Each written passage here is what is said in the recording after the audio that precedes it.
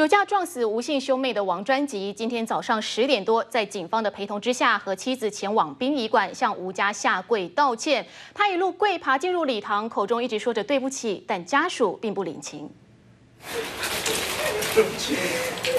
一路跪爬进灵堂，口中喃喃着说对不起。撞死吴姓兄妹的公务员王专吉，十八号上午十点多，与妻子一同到台东市立殡仪馆向吴姓兄妹的家属致歉，但家属并不领情。我是觉得两条人命十万块交保，好，然后他可以来这边做他想做什么事情，将来在法律上的的的这些动作，我觉得他只是在让他自己心安，只是想尽办法去降低他的刑责而已。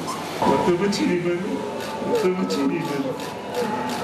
用颤抖的声音重复哭喊着对不起。王专辑夫妻跪在两兄妹灵堂前，几乎不敢抬头，但再多声道歉也换不回两个年轻的生命。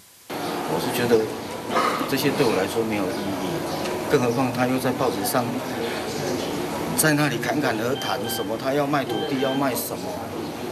我我们今天从头到尾也没有都没有去谈到这些问题，我们只想好好的送小孩子走。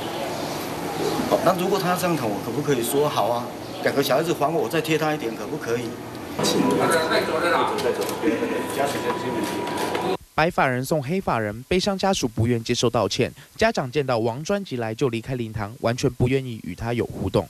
其他家属也叫警方赶快把两人带离现场，不要让吴家人越看越伤心。联合报潘俊伟台东报道。